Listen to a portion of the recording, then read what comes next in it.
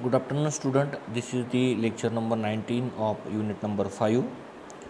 Till now we have studied what is heat treatment, what is the purpose of heat treatment, what is the principle of the heat treatment, classification of the heat treatment we have studied. Uh, there are some annealing heat treatment process we have also studied. Uh, then uh, we have studied the tempering process in the last lecture. What are the different types of tempering that we have already covered in the last lecture today we are going to study what is mar tempering actually it is nothing but the um, heat treatment or sub heat treatment of the uh, hardening process okay? Now in mar tempering the alloy are heated steel alloy are heated above the transformation range that is 727 degrees celsius above 727 degrees celsius then suddenly quenched in a molten salt bath which is maintained at 80 to 300 degrees celsius then whatever the pieces we have uh, quenched into the molten salt bath that held means which is at a 80 to 300 degrees celsius that all the pieces are held at that temperature until the outside temperature are equalized. Uh, that equalized temperature uh, concept we have studied in the last lecture also means what? Whatever the temperature of the molten bath uh, is 80 to uh, 300 degrees celsius and outside temperature is nothing but the room temperature. It may be a 30 37 degrees celsius okay? So uh, how much time period we will have to um, dip that specimen into the molten salt bath? That from 80 to 300 degrees celsius outside temperature and inside temperature of the molten salt bath will be equal okay? The part is then reheated up to the austenite uh, means transformation range and cooled at a moderate rate. Means here also the complete heat treatment process is uh, carried out in two phases. First we will have to heat that all the specimen at a transformation range that is 727 degrees celsius then suddenly quench in a molten salt bath which is maintained at 80 to 300 degrees celsius. Then the outside and inside temperature of the molten salt bath will not come to a room temperature or equalize uh, till time we will have to add that or dip that pieces into the molten salt bath. Then again we will have to heat that all the specimen to transformation temperature and cool at a moderate rate. Okay? Then mar tempering produces martensite in a steel but with a minimum distortion and residual stresses. Uh, actually we have studied uh, in the previous lecture as we are doing the rapid quenching what we will ha what ha will happen to the specimen there will be some uh, distortion and residual stresses develop in the uh, in case of the output product okay? But in case of the mar tempering the minimum amount of distortion and residual stresses are developed. And this mar tempering is uh, carried out on the uh, process such as a cold chisel are hardened at the cutting edge and followed by the tempering okay so we know that the hardening process is followed by the tempering. That's why uh, on cold chisel working the this mar tempering process is followed by the um, that hardening process is followed by the mar tempering process because this process increases the hardness of the chisel and increases the cutting ability. Okay? So furthermore whatever the heat treatment process we have followed uh, such as a tempering process that will be carried out for increasing the cutting ability of the cutting tool. Okay? So this is nothing but the mar tempering process. Then next process we will have to study is that uh, that is maraging process. Okay? Uh, this marriage is not the your marriage. Okay? So b m a r a g i ng okay? Maraging implies a martensitic plus aging. Means uh, that word is a split in two part. Martensitic transformation plus aging hence maraging okay? The maraging still obtain a high strength and ductility by combining martensitic hardening of a basic iron that is iron nickel alloy with age hardening of the martensite. Age hardening means what? It is again related to the cutting ability of the cutting edges okay? Uh, some applications of the maraging that is rocket and missile cases uh, whatever the casings of the rocket and missile that will be treated as uh, as a maraging then aircraft structural part hot extrusion dies okay? That will be uh, the examples are of the maraging heat treatment process. Then whatever the properties that we, we can uh, achieve by using that maraging process good machinability good weldability high ductility and toughness. These are the properties uh, obtained by performing the maraging heat treatment process. Now here uh, we can see the quenching medium. Now uh, from the very first lecture we are studying that the heat treatment process is nothing but uh, heating and cooling of the alloy or metal uh, in a solid state at a transformation range and maintaining that temperature for a certain period of time and cool to room temperature in a different medium. Now that medium is nothing but the quenching medium okay? Now in case of the medium till now we have studied different medium like water oil salt bath then uh, furnace okay? Different cooling mediums we have studied. But in case of the uh, hardening process there are only two mediums we have studied that is water and oil. But there are certain limitations to water and oil uh, quenching medium okay? Uh, what are that uh, limitations that we will have to study? And in order to overcome that limitations we will have requirement of a new sorry uh, new medium or uh, discovering the new medium or quenching medium okay? So water and oil have been used as a quenching medium in the industry for hardening of steel by rapid cooling from last 15 years uh, last 50 years means हे जे water आणि oil आहे quenching medium म्हणून मागच्या काही fifty इयर्सपासून use केला जात आहे बट वॉटरचा काय लिमिटेशन आहे that water gives a fast cooling rate and result in excessive distortion and cracking okay in case of the uh, hardening process also we have studied. When we dip that specimen into water means we do the rapid quenching. In that case what we will uh, what will happen to the output product there will be excessive distortion and cracking will be occur. Excessive distortion and cracking will occur. And in contrast uh, when we we use the oil as a quenching medium in that case what will happen? Uh, the lower cooling rate in the higher temperature result in a pearlite and lower hardness okay? Means what uh, as we are using that water in case of the uh, higher temperature means cooling the uh, that uh, specimen from higher temperature to room temperature the cooling rate will be faster as we are using the water. But excessive distortion and cracking will be there. But in case of the oil as we are cooling the specimen from higher temperature to room temperature what will happen the cooling rate will be very low. Is it? That cooling rate will be very low and that's why uh, whatever the output product we will obtain that containing the pearlite okay? That containing pearlite and as we know that the pearlite is a having a lower hardness okay? So that's why uh, every uh, quenching medium has a certain limitation. Water has some other limitation and oil has some other limitation okay? So by combining water and oil the above drawbacks of a water and oil can be overcome by the use of new quenching medium okay that I have already mentioned you means by combining the limitations of the water and oil uh, what will happen the new quenching medium uh, called a polymer quenchant is developed okay तर नवीन quenching मीडियमचा जो एक type develop झाला त्याला म्हटलं आहे polymer quenchant okay and this quenching medium provides A faster cooling rate in higher temperature and slow cooling rate in uh, martensitic temperature. Means what? As we are heating uh, cooling the uh, specimen from higher means having some higher temperature in that case as we are using the polymer quenching, we will get higher cooling rate.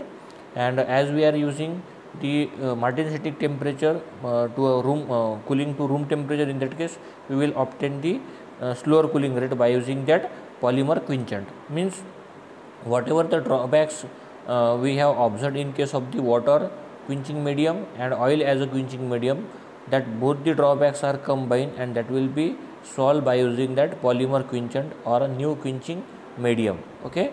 Uh, and a polymer quenchant consists of organic compound. Uh, in the 12th standard we have or you have also studied the what is organic compound. Organic compound is nothing but the compounds of the carbon such as bakelite, nylon 66 okay?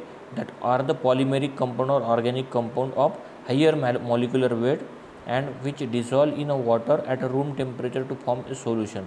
Means uh, that polymer quenchant or organic compound that polymer quenchant are made up of a organic component that will uh, easily dissolve in a water at a room temperature okay it is the advantage of the polymeric quenchant or organic compound. Okay? Uh, there are some examples of the polymeric compound. In that the very first example is a uh, polyvinyl alcohol. It is also organic compound. Then uh, polyalkyl glycol sodium polyacrylate and polyoxy alkylene glycol okay?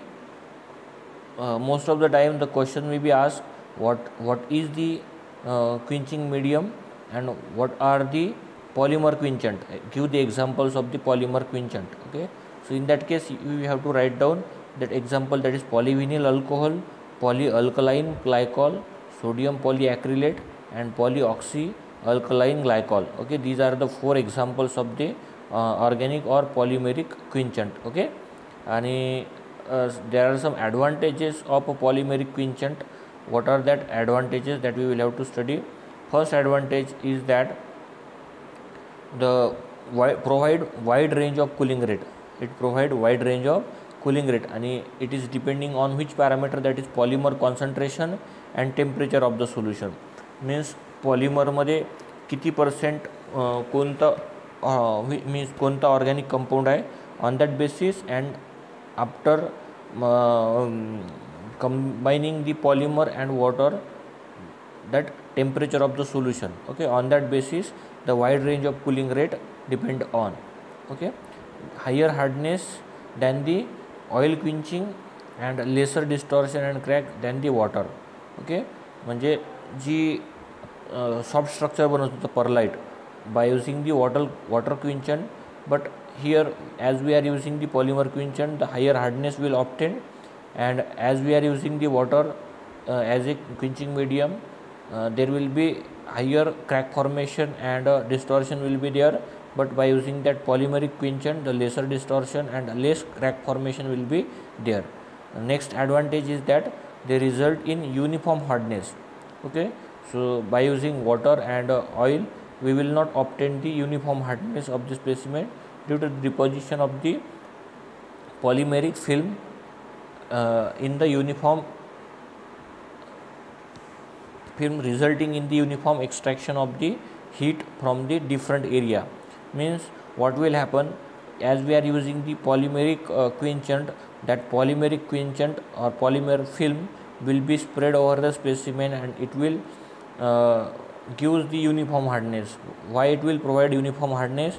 That that uniform film or polymeric film uh, extract the heat from different area. Means uniform extraction of heat will be takes place by the provision of the polymer film on the surface of the specimen. That's why uniform hardness we will obtain.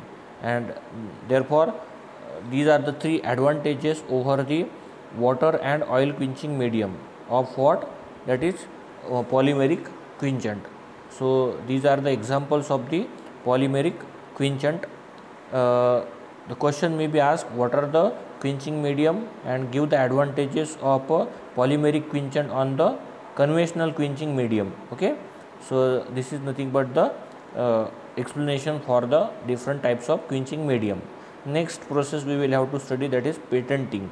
Now patenting is a basically uh, heat treatment process used in the wire drawing process means wire drawing industry means what the patenting is a term used in a wire drawing industry to indicate the intermediate heat treatment means intermediate heat treatment process carry करायसाठी ही जी पेटंटिंग process आहे ती ही treatment आहे ती carried out केल्या जाते on a cold draw wire to improve dear wire drawing characteristics means there is a uh, suppose here we, I can explain here.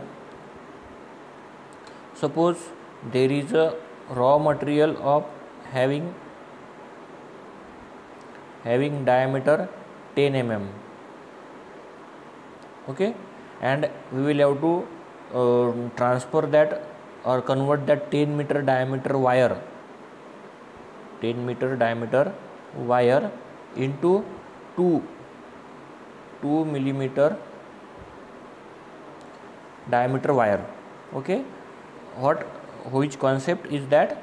The wire having 10 millimeter diameter from that we will have to convert the wire of 2 millimeter dia- uh, diameter. Means what? There will be some 5% decrease in the diameter. Is it? Or we can say that 50% decrease or 5 times sorry 5 times we will have to decrease the diameter of the wire. So in that case what we will do? We will pass that raw material of wire from rollers. Okay? So here first pass then again here again smaller here again smaller here again smaller. Likewise in the number of passes we will have to convert that 10 meter diameter 10 millimeter diameter wire into 2 millimeter diameter wire.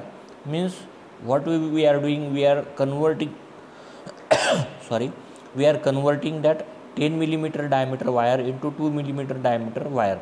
In that case we will have to follow the intermediate phases or we can say that the number of passes from 10 meter to 8 meter from 8 meter to uh, somewhat 4 millimeter sorry sorry uh, from 10 millimeter to 8 millimeter from 8 millimeter to somewhat 4 millimeter from 4, 4 millimeter to 2 millimeter. Likewise we will have to reduces the diameter of the wire in the number of passes. In single pass it will be quite difficult to to convert that 10 millimeter wire into 2 millimeter wire in the cold drawing process cold drying process. Okay? So it it is mentioned over here. See? In wire drawing uh, in wire drawing the medium to medium to high carbon steel bar becomes sufficiently hard after a few passes. Means we are passing that uh, bar or wire from 10 millimeter to 2 millimeter. In that case uh, it is very means there will be a chances of increasing the hardness of that wire okay? So flexibility of that wire will become reduced by the uh, converting from 10 millimeter to 2 millimeter uh, in case of the cold drawing process. That's why the hardness of the wire will increases and that's why the flexibility will uh, decreases okay? So drawing characteristics of this wire are restored by patenting. Means whatever the process we are studying that process in which what will happen that patenting treatment produces the softening and a microstructural changes in the steel wire. And because of that it will restore the uh, wire drawing characteristics of that wire. Means whatever the properties of that wire drawing uh, are restored by using that patenting heat treatment process. Now in actual patenting process what is the principle? In patenting operation the steel wire is austenitized austenitize means what at seven twenty seven austenitization temperature और austenitization temperature और transformation temperature means what that is 727 degree Celsius I have already told you number of times okay transformation temperature बोला जाए या फिर austenitize temperature बोला जाए तो it will be 727 degree Celsius means in patenting operation the steel wire is heated at 727 degree Celsius quenched in a molten salt bath of lead.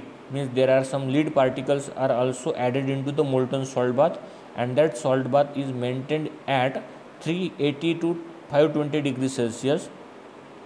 That wire held at that temperature for some period of time and then cool to room temperature and then cool to room temperature at a desired rate. Okay not a specified rate but at a desired rate. Okay त्यानंतर काय होईल? It produces the microstructural changes from bainite to very fine what will happen? That bainite and martensite are the toughest and strongest waves okay that's why that microstructural changes from bainite to very fine pearlite. and pearlite is the soft phase that is required for wire drawing process. Okay pearlite depending upon the temperature of the transformation. Okay the structure has higher hardness this structure has a higher hardness. Is it understood what is patenting process? Okay. Then next process we will have to study that is Jominy end quench test. Now the hardenability of the steel is governed by cooling rate at which the austenitized decompose to ferrite, pearlite and bainite during quenching. Hardenability में क्या होते कि जे cooling rate है तो वेस काय होते कि जो ऑस्टेनाइट है तो परलाईटमध्ये ट्रान्सफॉर्म होतो, परलाईटमध्ये होतो, फेराईटमध्ये होतो बेनाइट मे हो depending upon the quenching medium. Okay? Now this hardenability is estimated estimated means calculated by studying the response to a quenching medium okay measuring hardness at a different cooling rate in the sample that is shown over with the help of that experimental setup The most popular method to determine the steel's response to hardening treatment is called as Jominy end quench आता Jominy end quench test कशाला म्हणतात? The determining the steel response to hardening treatment त्यालाच म्हणतात Jominy end quench test आणि who discovered that experimental setup or procedure to determining the hardness of the steel his name is Jominy okay that's why it is name given Jominy end quench test. In the experimental setup we can observe there is one water tank water from water tank there is a one pump which is uh, uh, sucking the water from water tank and it will uh, flow in the two direction. There is one tap okay? Water tap is there. Here this is the water tank from tap there is a pump is fitted. That pump is uh, pulling water from the water tank and it will flowing in the two direction in the this one branch and second branch okay? So that tap is again opening into the tank is it? Now here uh, one holding fixture is there. This is the holding fixture. To, to that holding fixture one test piece or what we can say that the specimen is hold to the holding fixture okay? And uh, at the free end of the that specimen the water flow or water spray is uh, impinged okay? Water flow or water jet is flowing on the free end of the specimen okay? Now here we can observe the diameter of that specimen is 25 millimeter and length of that specimen is uh, 100 millimeter. Okay? 100 millimeter means 10 centimeter. Is it? 100 millimeter means one uh, yes 10 centimeter. Okay? So in that experimental setup what we will do? We will heat that uh, specimen heat that specimen in the furnace. Okay? Heat that specimen in the furnace and uh, we will hold that specimen with the help of that holding fixture. Means whatever the specimen we have fixed into the holding fixture it is now in a red hot condition because of the heating okay? And we will have to spray the water jet on the free end of the specimen. Now what will happen? Whatever the end of that specimen is in contact direct contact with the the uh, water jet there will be rapid quenching will takes place. Means the hardness of that free end will be much more okay because of the rapid quenching and and the temperature of that free end will be be decreases to room temperature drastically at a faster rate because of the water spray okay. Now uh, means this end will be rapidly cool because of the water spray then as soon as we will continuously throw the water spray on the free end then uh, this end will be uh, cool rapidly. Then after certain time this complete complete uh, specimen will be cool slowly. Is it? Is it? Means whatever the end is in directly contact with the spray it is cool rapidly. Then some some 1 centimeter specimen will cool rapidly then somewhat lesser time it will take some lesser time it will take some lesser time. Means uh, after certain time interval the uh, the fixed end will be will become solid uh, or what we can say that will be become to a room temperature. Means free end will become uh, will come at a faster rate to room temperature and fixed end will come to a room temperature at after certain period of time.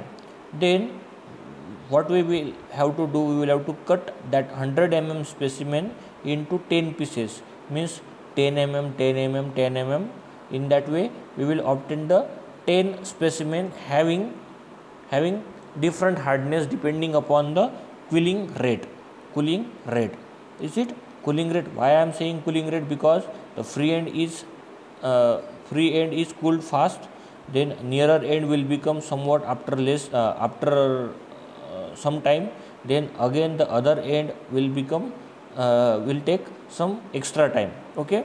So this one centimeter will become cool faster then next then next then next next okay? Likewise okay? So in that case uh, whatever the free end is in direct contact with the water spray it will solidify uh, it will uh, having higher hardness because of the rapid quenching.